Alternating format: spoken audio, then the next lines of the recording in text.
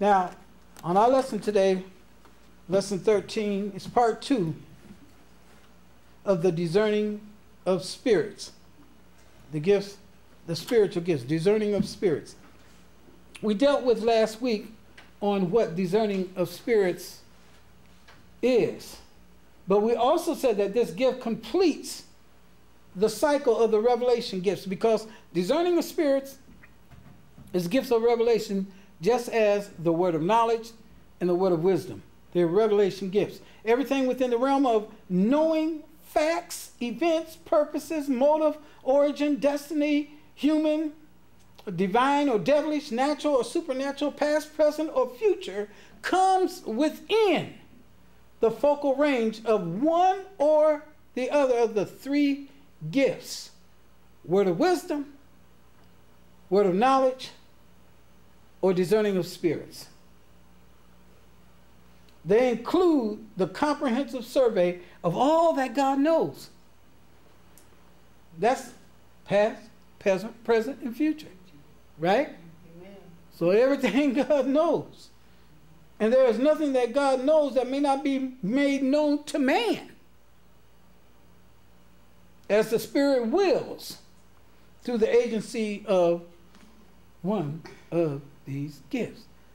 He can make known to man as he will through one of these gifts of everything that he knows. We said that the gift was entirely supernatural. Remember? It differs from the word of wisdom and the word of knowledge in that its objects as well as its operations is entirely supernatural. Supernatural. This is clearly implied in its name, discerning of spirits. The other revelation gifts we see, the other revelation gifts uh, didn't change, did it? Okay? though equally supernatural in their operation, are not equally supernatural in the things that they reveal. This is just going over things that we went over last week. Discerning of spirits, it shows in a miracle the miracle source. Remember, we were saying that? Of a miracle. It indicates its true character, whether heavenly or hellish. So it deals with the source, the miracle source. In the Greek, we have the word there, and it's pronounced diek renom. And it discerns, okay, means to recognize, to discriminate, to evaluate, to judge rightly, to distinguish, or to be able to tell the difference between two or more things. Remember, we discussed that? the other hand, discerning of spirits is the ability to discern the spirit world, whether something is divine, God or angels, whether it's human, natural origin, or demonic, same, Satan and demons. So that's what we're dealing with in discerning of spirits. Discerning of spirits, we said, it gives supernatural insight into the secret realm of the spirits. We don't know about the spirit world, do we? So, for us to know anything concrete, solid from the spirit world about it, then we have to be that has to be revealed to us by the Lord. Now, the devil can reveal things to you, but then that's where discerning the spirits come in. To know the difference between the spirit of God and the spirit of demons. It reveals the kind of spirit that is actuating a person who is manifesting supernatural knowledge or power at the time that the miracle is actually taking place. Just like we see all these miracle workers in our day. It's hard to tell whether they're true or whether they're false. Looks like they're true, and then when we hear about all the whole bunch of stuff that was going on, then it's like, wow, how can all those things be done by somebody that's so ungodly? The demons are in control of this domain. right now, I mean, they don't control God. He has ultimate control, but he's giving them the prince and the power of the air here. You know, domain. So they have certain powers and they can, you know, go, go within people and give them miraculous powers as well. But we have to know the difference. And the Bible tells us that if it were possible, they'd even fool the very elect. By its operations, we may know the true source and the nature of any supernatural manifestation, whether divine or satanic. And the character of such uh, spiritual manifestation can only be determined by the use of that gift. Then we talked about some of the things that uh, discerning of spirits is not. Okay?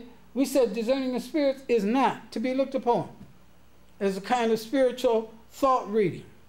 We also went over the fact that there are three kinds of spirits the divine, the satanic, and the human. The Bible tells us in 1 Thessalonians 5 23 that the human body consists of mind, soul, I mean, spirit, soul, and body. Am I right? So it lets us know that we have a spirit. All right.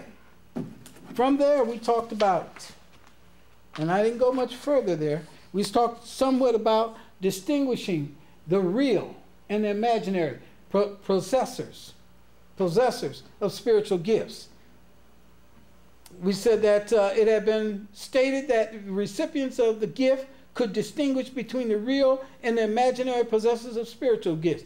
Uh, we talked about the people in Corinth. Remember, we said that the trouble in Corinth and the early church was not concerning the real and imaginary possessors of spiritual gifts, but between the true and the false miraculous manifestations.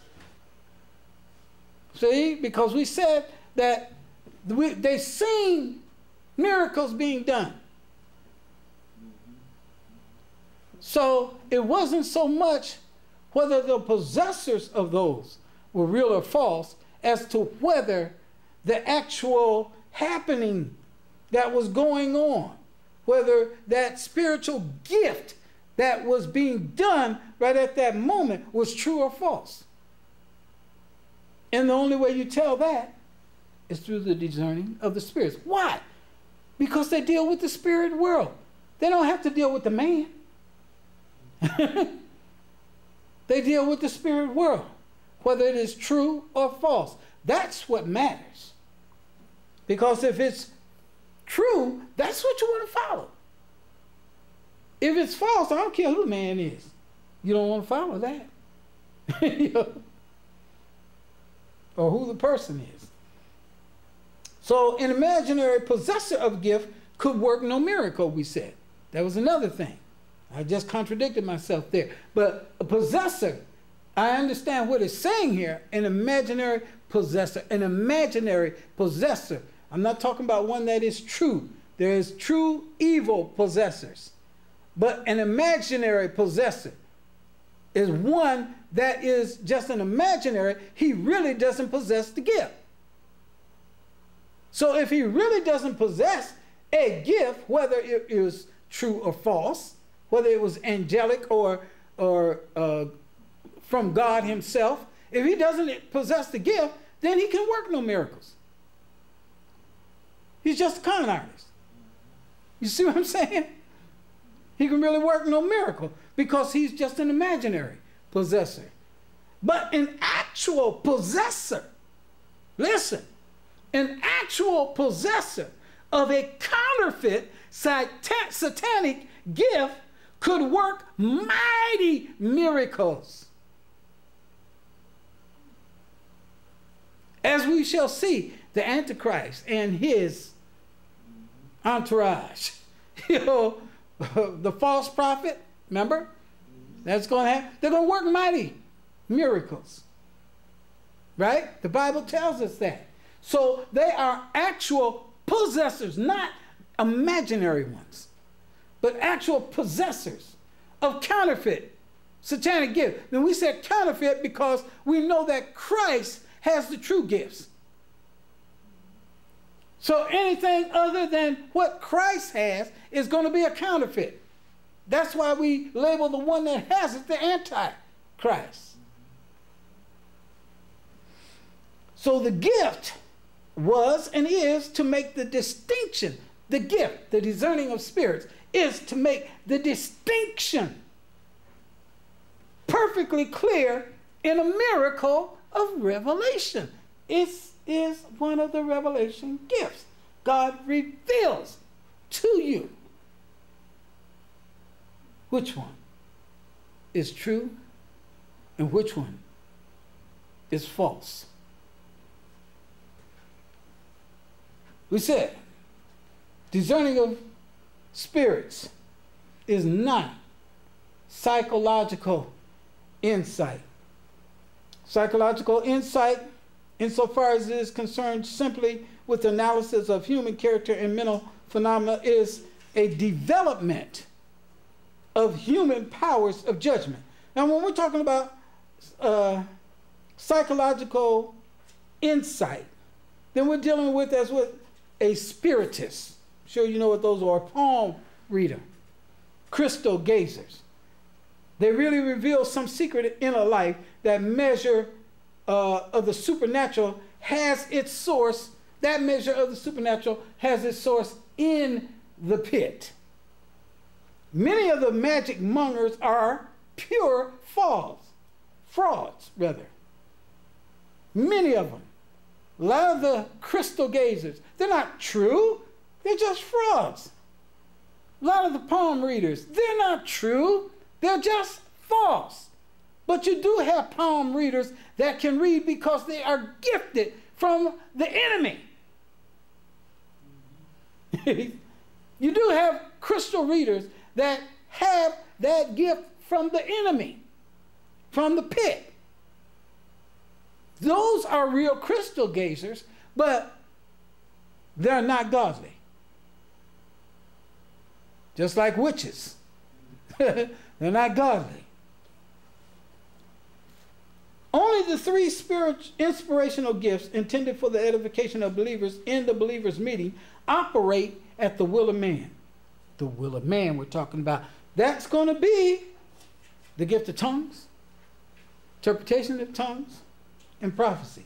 These operate by the will of man. God comes upon us with the supernatural gift and we speak. Right? We speak in tongues. We interpret the tongue. We speak forth. We speak for another in prophecy. Right? But, right here, clairvoyance. What is that? Seeing what is not normally seen. Hypnotism, magic, occultism, witchcraft, sorcery, spiritism. All these are real supernatural forces producing miracles. All of them. They produce miracles, but all responding as they do to the perverted will of man. and they are satanic in their origin. We talked about also, and I don't even have to spend time on this, that discerning of spirits is not the power to do what?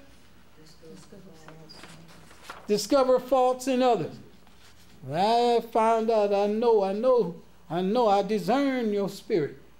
You're a nasty rascal. You know? That's not what it's all about, is it? So we're supposed to love one another. So, as we let's climax this tonight and go over some of the present day uses of a gift. Okay, and the present day uses of the gift are just as they were before, as as they were in the scripture. What? To help in delivering the afflicted, the oppressed, and the tormented. Can you, can you agree with that? I mean, this is this is a solid uh, what do I want to say?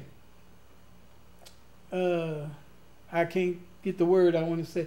In other words, I wanted I got ready to say constructive way, but that that may work of using the gift to help in delivering the afflicted, the present torment. Demon possession is yet responsible right today for cases of mental derangement. Demon possession is. Minds are still wrecked and driven by cruel, tormenting spirits. Today, they're lashing into frenzies, pressing into violent acts, and urging to self destruction, suicide, jumping off of bridges. Huh? Today we see it in the drug world. Demon just got these folks schizophrenia. Look at them. Demon just got them just taking their minds, taking their bodies, taking control. You even see these people now that commit some of these acts say the devil told them to do it or they heard a voice. You know, and they're hearing something. What they're hearing is real. It's not just all imaginary. And they're doing deadly things. Dreadful asylums are filled with mental wrecks that we are no longer interested in. They're locked away in asylum, need help, just pumping them with medicine day in and day out. We don't even think about them.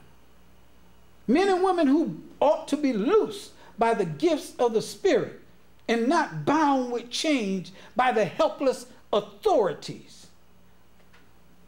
They're still out there. Youthful hearts are driven by unclean spirits. They're trying to teach them any and everything is okay. you know, they don't tell them anything about guilt. they don't. They don't preach a whole lot to them about hell anymore. You know. But they're driven by unclean spirits. And then they're revolting talk. They're, they're, these youth, they're revolting talk. It's terrible. Obscene behavior. And then they come up with unspeakable diseases. We don't know what's going on. Where all they been and what all they been doing. All happening. The power of speech is robbed by dumb spirits. Still happening, just like in the Bible days. Am I right? None of that's changed.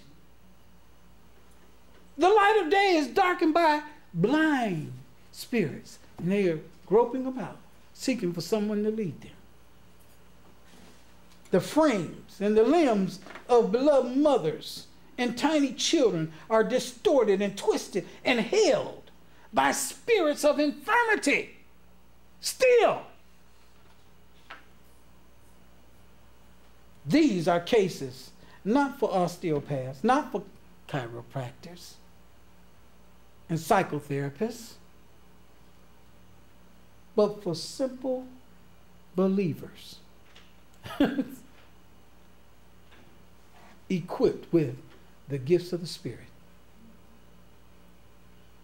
That's what we got all of this for.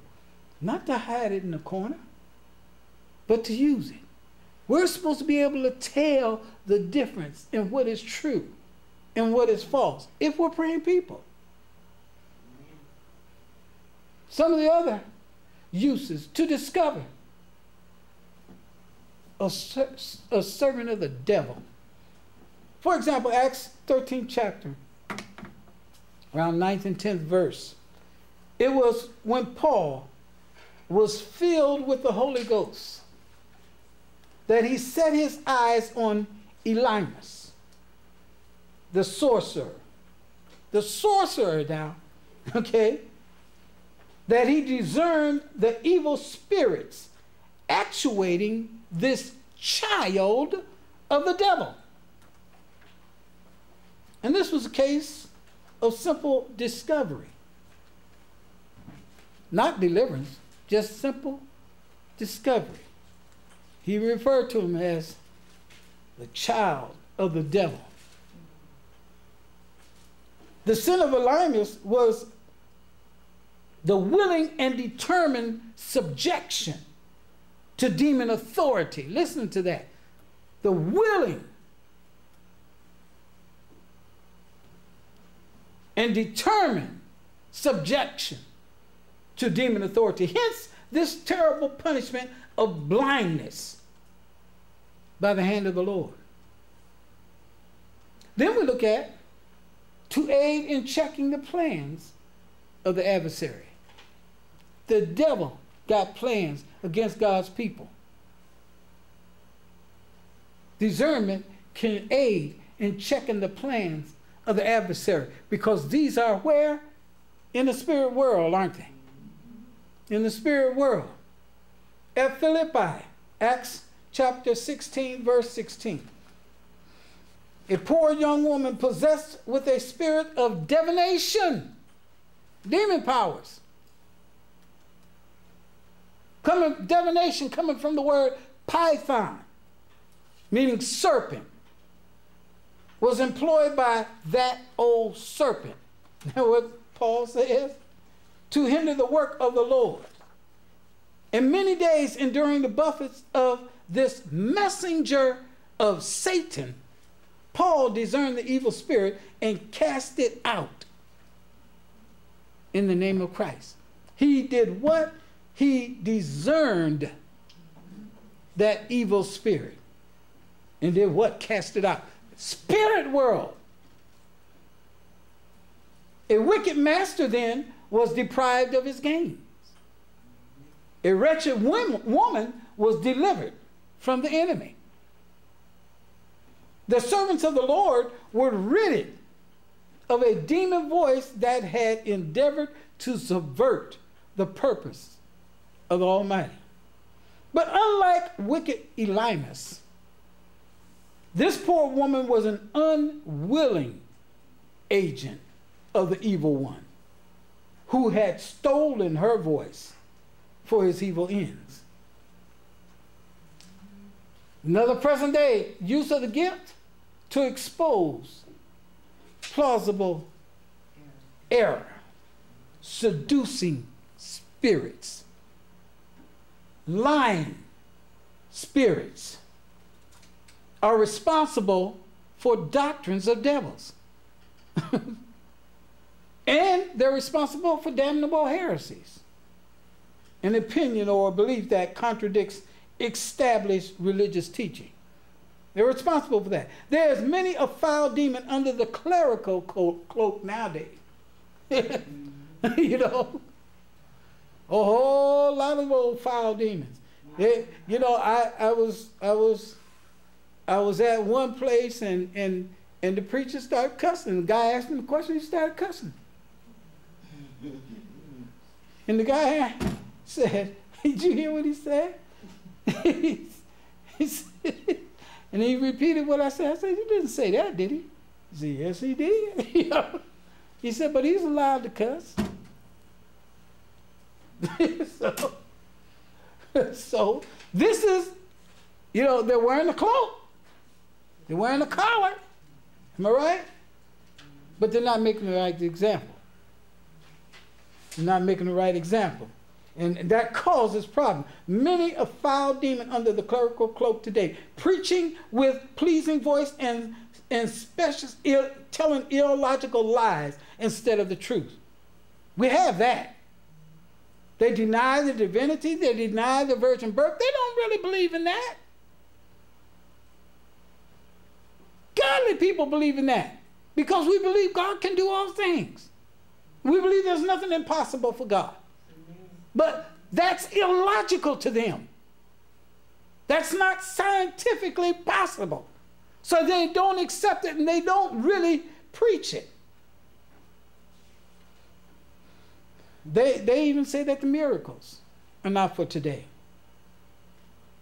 They talk about the saving blood of the Lord, but they deny in the reality of sin, they deny in the reality of the devil.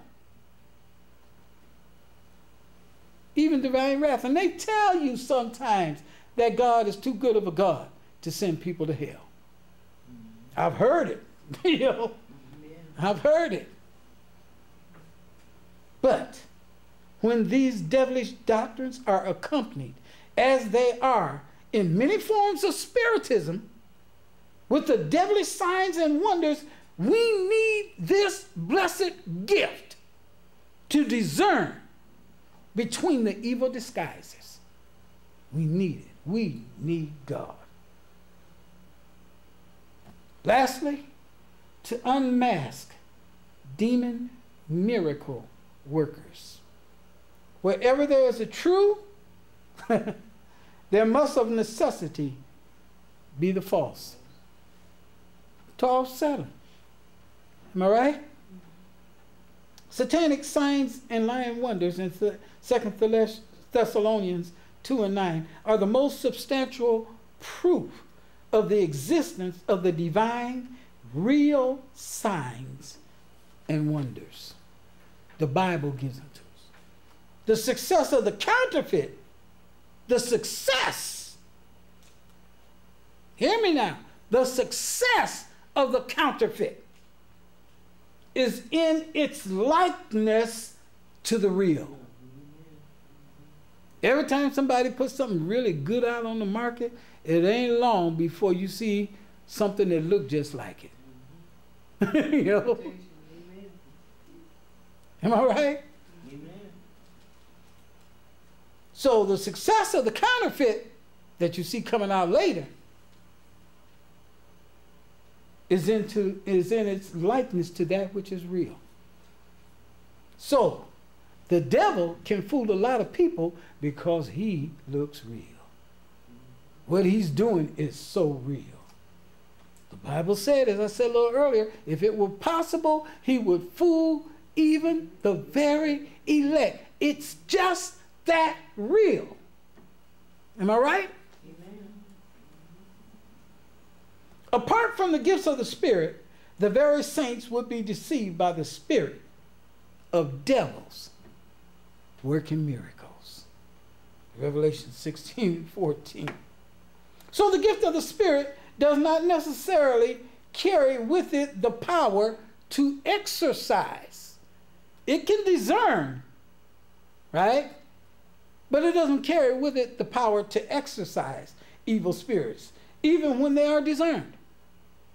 Gifts are power, gifts of power that we're going to get into in the future are required in addition for this. So one gift can discern that spirit, but the other gift can cast it out. Right? Just as we've seen here in illustration with Paul. The very existence, as we close, the very existence of the gift proves the present reality of evil spirits if we didn't have evil spirits, if we didn't have these likenesses of the truth, then we wouldn't really need that gift, would we? but the fact that God has given the church the gift shows how much the present reality of evil spirits is here. They are wrecking and torturing human beings as cruelly as in the Lord's day. Dare we come down from the peaks of selfish blessing and spiritual exaltation and seek earnestly such gifts? Is it fear? Listen to this. Or unbelief? Or just our desire to be at ease in Zion that holds us continually in our shelters of comfort? other than going about and doing God's will. God is calling.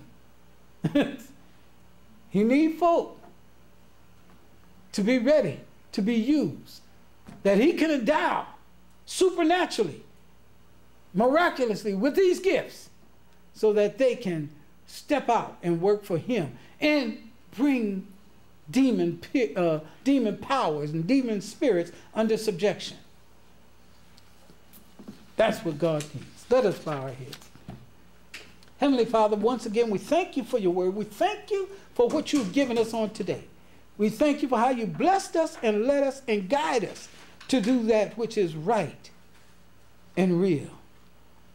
We thank you for the wisdom and knowledge that you've given unto us. Bless us as we go to our several places. Keep us and take care of us. And those that are not here, oh God, that those that are on the prayer list, look upon them and bless them. And bless us as we come again. In Jesus' name. Amen. Amen.